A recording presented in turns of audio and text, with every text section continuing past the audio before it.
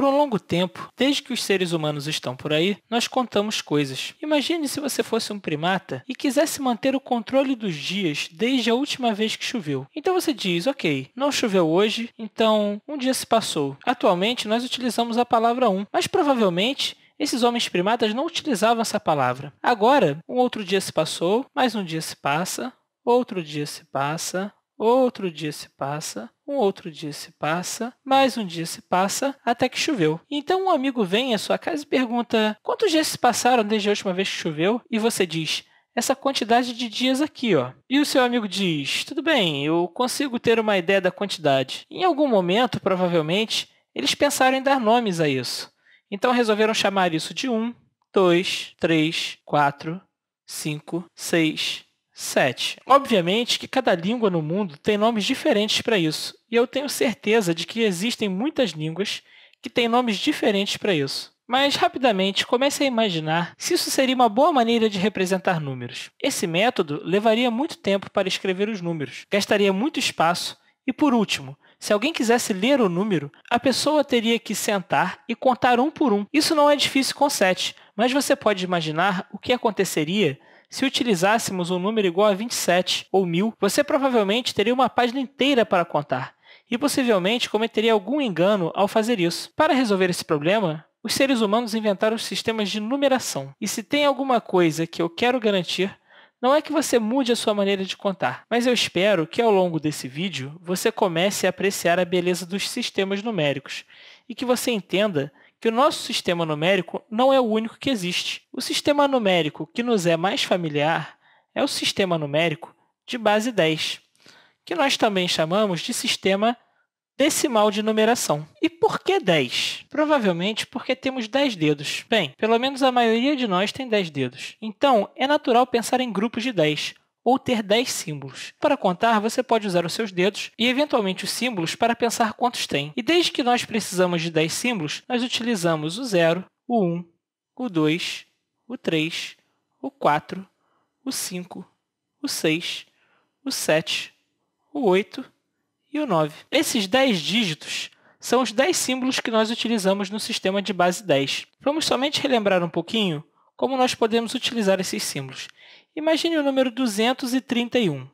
230, 231. Bem, o que é interessante nos sistemas de numeração é que temos valores para cada lugar. Esse lugar aqui mais à direita, nós chamamos de unidades.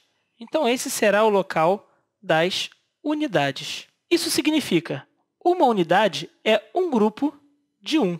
Já esse lugar aqui é o lugar das dezenas. Então, é o lugar das dezenas. Bom, e esse 3 aqui significa 3 dezenas, 3 grupos de 10. E esse 2 aqui, ele está no lugar que nós chamamos de centenas. Então, ele está no lugar das centenas. E isso significa duas centenas, dois grupos de 100. E você junta todos eles. E, mais uma vez, ainda estamos pensando em base 10. E temos 2 100 mais 3 10 mais 1. E o que esse sistema nos diz é que todas as vezes que nos movemos para a esquerda, nós estamos pensando em grupos de 10, que são relativos ao espaço da direita. Então, essa é a casa das unidades. E se você multiplica por 10, você vai para a casa das dezenas. E se você quiser ir para a próxima casa, você multiplica por 10 e você tem a casa das centenas. Se você está familiarizado com potências, 1 é o mesmo que 10 elevado a zero. Da mesma forma, uma dezena é a mesma coisa que 10 elevado a 1.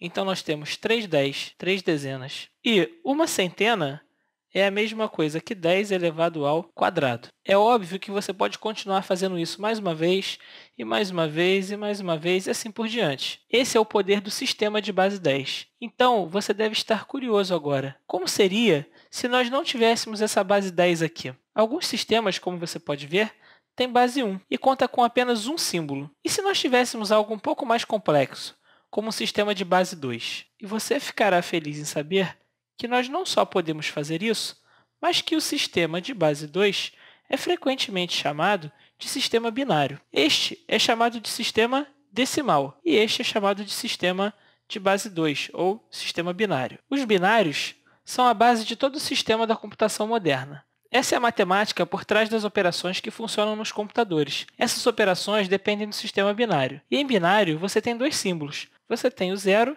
e você tem 1. E a razão para que isso seja usado na computação é porque todo o hardware que nós usamos em nossos computadores modernos são feitos de transistores e portas lógicas que resultam em estado de ligado ou desligado. E o que nós fazemos é operar em base 10, quando nós utilizamos uma calculadora ou algo do tipo. Mas o que está por trás das contas da calculadora, que estão sendo realizadas em base 10, são as contas realizadas em sistema binário. Então você deve estar se perguntando, como nós podemos realmente pensar em termos de sistema binário. Nós vamos construir um sistema similar a essas casas aqui, mas em vez dessas potências de 10, nós usaremos potências de 2. Então vamos estabelecer alguns lugares aqui. Essa casa será a casa de 2 elevado a zero. Então, 2 elevado a zero representa uma unidade. Então vamos nos mover para a esquerda dessa casa. Nós podemos nos mover para a esquerda dessa casa. Esta seria a primeira potência, a qual chamaríamos de 2 elevado a 1, ou duas unidades. Né?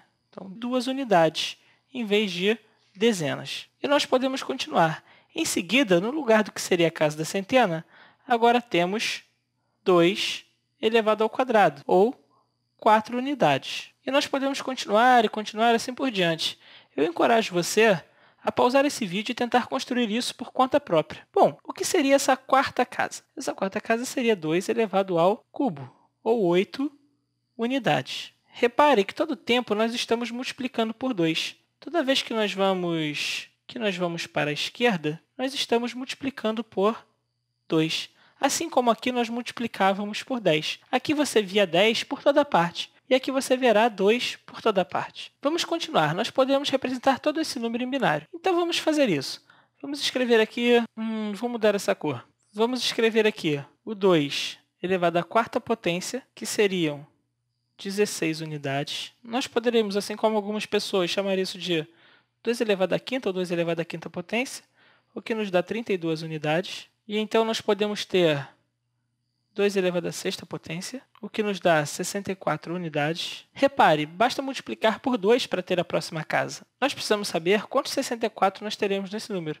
Na verdade, é, nós precisamos saber se vai ter 64 ou não nesse número. Mas nós veremos isso em seguida. Agora vamos escrever 2 elevado à sétima, o que dá 128 unidades. E é claro que nós podemos continuar isso indefinidamente, mas isso já é suficiente para representar esse número. Nos próximos vídeos eu mostrarei a você como fazer isso. Mas vamos representar esse número. Acontece que esse número pode ser representado por 1, 1, 1, 0, 0, 1, 1 e 1. Bom, então o que isso significa? Isso significa que você tem um 128 mais um 64 mais um 32.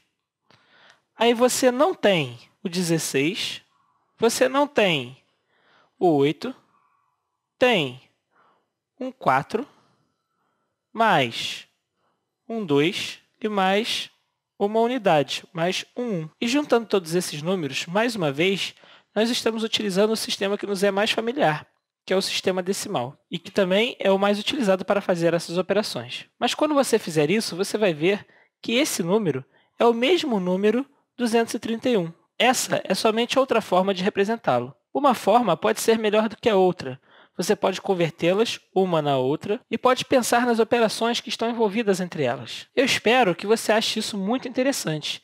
Isso para mim foi algo que abriu meus olhos para o poder do sistema decimal. Nos próximos vídeos, nós exploraremos outros sistemas numéricos. O de base 10 é o mais comum. O binário também é bem legal. E tem também o hexadecimal. Nós não temos dois dígitos ou 10 dígitos. No sistema hexadecimal, você tem 16 dígitos. Nós exploraremos nos próximos vídeos esses sistemas e como fazer conversões entre esses sistemas, ou reescrever diferentes representações em diferentes bases. Espero que vocês tenham gostado e até um próximo vídeo.